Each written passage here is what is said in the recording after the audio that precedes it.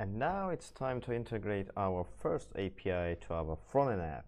So uh, we have implemented the registration API, and now it's uh, uh, we need to add it, uh, the call for this API in the signup.vue file, which we have um, yeah, which we have implemented.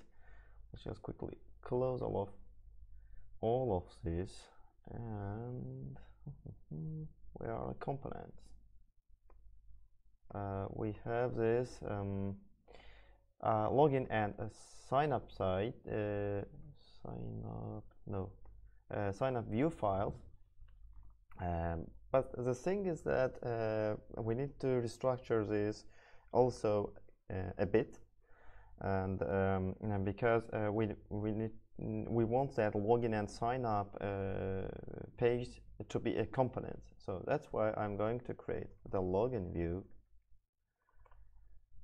and the sign up view file. Then uh, just cut as this uh, from the index view page to login and do the same thing. Let's just quickly save it. Do the same thing for the sign up page.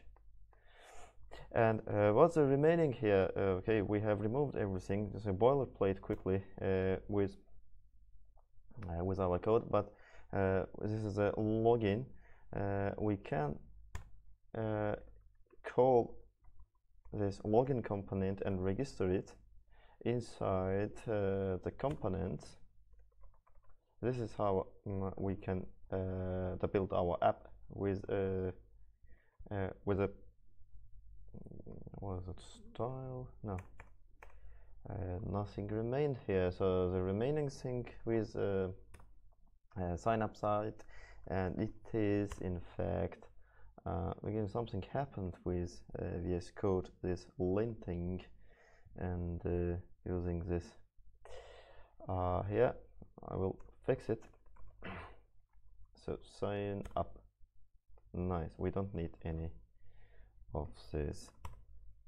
And here of course. Sign up.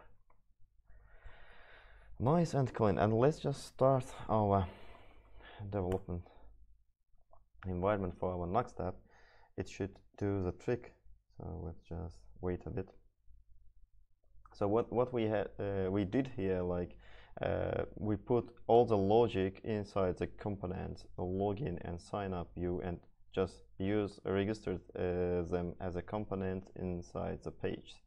That is uh, that's a, well, how we need to implement it. Uh, let's just quickly go to a nice and to to sign up. Great, it works.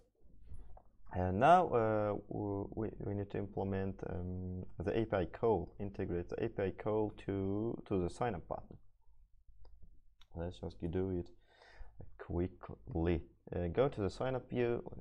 Uh, scroll it up scroll it down. Um, what we have yeah priorities yeah yeah yeah, yeah. Uh, uh, we need to add this base URL to the Axios settings. Why we uh, need it here? Because uh, our base URL is as you remember from from the backside um, and from the backend it is something like API uh, v1 and register. So uh, we don't want to type the whole URL each time when we send the request request to the backend servers that's why we need to add this. Um, to to to to mm, here and every single request will just uh, will be uh, prefixed this uh, with this base URL. Uh, that's the settings for our um, for our Nuxt config, and let's quickly do do the sign up side here. Um, uh, what we have uh, here, so there's a sign up handler. When we push this the sign up button, it it will be called and uh, we uh, implemented this uh, sign up object. Let's just quickly rename it to the data because we are sending the data to the backend. And uh, I'm going to uh, use try oops try and um, catch here. Uh, yeah. And uh, called the, this is const const response uh, which is uh, going to call uh, this Axios and post to the mm, post to the mm, slash register uh, slash register endpoint on the backend. that means that maybe we need to eliminate the the last slash here and yes uh, let's just quickly console log the uh, response which will be returned from the post request. And if something wrong happened I'm going to console uh, console log uh, the error message message as well. So this is uh, data. Basically, uh, we have implemented the uh, sign up endpoint here. Um, let's just quickly test it. Uh, I'm not sure what, oh, something happened. Mm. Nice and noise error. So, yeah, const res, const res await. Um, ah, right, because this is uh, not an async function we can't just await here uh, that's fixed let's just do some mm, nice nice, So refresh the page. Okay I'm going to create some user uh, with a dummy dummy email and dummy password. Let's just uh, open the network and see see if uh, the post request is going to be run.